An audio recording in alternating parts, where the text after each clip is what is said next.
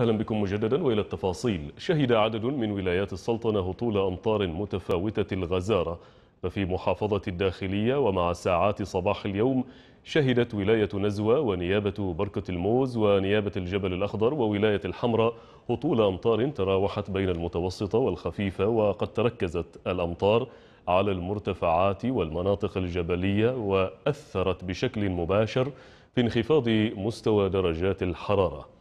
حيث وصلت قرابة ست درجات مئوية في نيابة الجبل الأخضر.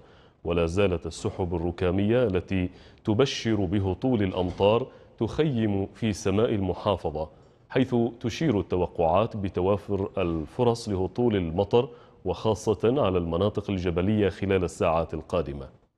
كاميرا الأخبار في محافظة الداخلية رصدت بعضا من مشاهد الأمطار الخفيفة التي هطلت صباح اليوم وهذه لقطات من تلك المشاهد.